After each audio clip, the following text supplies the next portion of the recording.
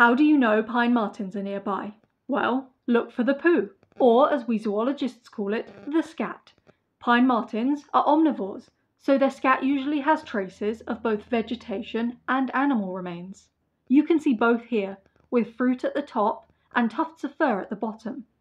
But there are multiple omnivores in the UK, so how do we know it's not a fox or a badger? Well, pine martens tend to wiggle their hips, so their scat is often curled up. They are also the size of a large cat and produce very dark scat. So if you find something that reminds you more of the size, shape, and colour of dog poo, then it's probably from a fox. Then there's the smell. Yes, zoologists not only dig through scat, but also sniff it.